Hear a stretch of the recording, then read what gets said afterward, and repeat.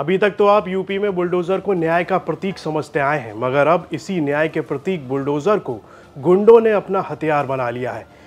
इन दबंगों के हौसले इस कदर बुलंद हैं, ये बिना डरे बुलडोजर के साथ पुलिस भी लेकर आए और गरीब महिला का घर महज इसलिए गिरवा दिया क्योंकि इनके प्लॉट तक जाने के लिए रास्ते में रुकावट पैदा कर रहा था।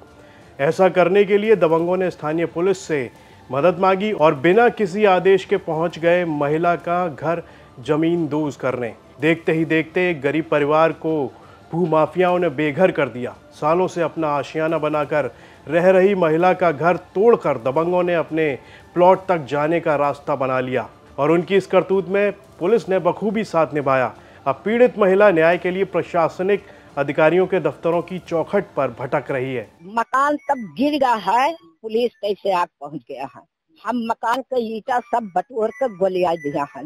गोलिया बाद में पुलिस आई, कहीं झट से का कुछ ढकलुआ कहीं रहे, और वो का कुल्हाली लिपात बताए थे।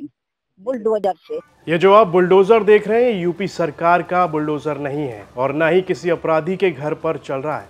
ये बुलडोजर भू माफियाओं का, जो गरीब के घर पर चल रहा है। इसमें न ही तहसील से घर गिराने का आदेश है, न ही किसी कोर्ट से। भू माफियाओं ने घर के पीछे 25 बिस्सा ज़मीन खरीद रखी थी, आने जाने का रास्ता नहीं था तो गरीब के मकान पर बुलडोज़र चलवा दिया। सोहना थाना के पेरेला नहरिया गाँव के प्रॉपर्टी डीलरों ने 25 बिस्सा ज़मीन खरीद रखी थी, लेकिन ज़मीन तक आने जाने का कोई रास्ता नहीं था। काफ़ी दिनों से प्रॉपर्टी डीलर घर खाली कर रास्ता देने का दबाव बना रहे थे। परेशान होकर पीड़िता झिनकी ने तहसील दिवस में शिकायत भी की थी, जिसकी अभी जाँच चल रही है। बिना किसी आदेश के प्रॉपर्टी डीलरों ने गरीब के घर पर बुलडोज़र चलवाकर ज़मीन दोज कर दिया। गरीब महिला मिन्नतें करती रही, लेकिन उसकी एक ना सुनी गई। घर को तोड़कर उसका मलबा तक उठा ले गए और अपनी ज़मीन तक आने जाने का रास्ता बना दिया। पीड़िता ने अजय पटेल, परवेज और जगराम पर उसका घर बिना किसी आदेश के बुलडोज़र लगवाकर तोड़ने का आरोप लगाया है। पीड़ित गरीब विधवा है। जब घर गिराने वालों के खिलाफ थाने से कोई कार्रवाई नहीं हुई तो उसने एसपी कार्यालय पर पहुंचकर प्रॉपर्टी डीलरों पर कार्रवाई की मांग की है। वहीं जब एसडीएम भानपुर से फ़ोन पर बात की गई तो उन्होंने बताया कि ज़मीन के विवाद का प्रकरण तहसील दिवस में आया था। मामले की जाँच चल रही है। तहसील से किसी भी अधिकारी ने बुलडोजर चलवाने का आदेश नहीं दिया था। इस मामले ने अब राजनीतिक रंग ले लिया है। समाजवादी पार्टी के नेता प्रतिपक्ष और विधायक माता प्रसाद पांडे ने पूरे मामले का संज्ञान लिया है और प्रमुख सचिव गृह को पत्र लिखकर दोषी, पुलिस और प्रशासनिक अधिकारियों के खिलाफ कार्रवाई करने की मांग की है। नेता प्रतिपक्ष ने कहा कि उत्तर प्रदेश की सरकार बुलडोजर को न्याय का प्रतीक कहती है और मुख्यमंत्री योगी आदित्यनाथ के राज में बुलडोजर का इस्तेमाल अब भू माफिया करने लगे हैं। गरीब परिवार का घर तोड़ा जाना काफ़ी निंदनीय है। वे इस मामले में कार्रवाई कराएँगे।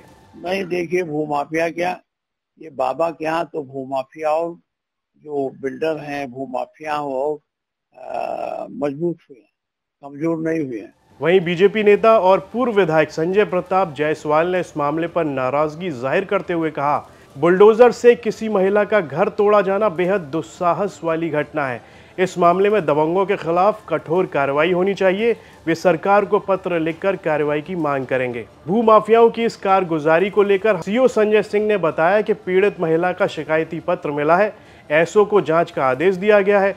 जाँच रिपोर्ट आने के बाद पूरी वैधानिक कार्रवाई की जाएगी। इसकी सत्यता जानने के लिए मैंने आख्या मंगाया है। जाँच की जाएगी। जो भी नियमानुसार कार्रवाई होगी, उचित कार्रवाई होगी, वो की जाएगी। मगर अभी तक पीड़ित महिला के मामले में कोई एक्शन नहीं लिया गया है। बुलडोजर को पूरे देश में अब रोल मॉडल के तौर पर कई राज्य भूमाफियाओं के खिलाफ प्रयोग कर रहे हैं, लेकिन अब बुलडोजर को आपराधिक प्रवृत्ति के लोगों ने उल्टा गरीबों के घरों को तोड़ने की तरफ़ मोड़ दिया है, जिसकी एक बानगी यूपी के बस्ती में देखने को मिली और जिम्मेदारों ने कोई कार्रवाई भी नहीं की। ये खबर हमें बस्ती से हमारे सहयोगी संतोष सिंह ने भेजी है। ये वीडियो आपको कैसी लगी?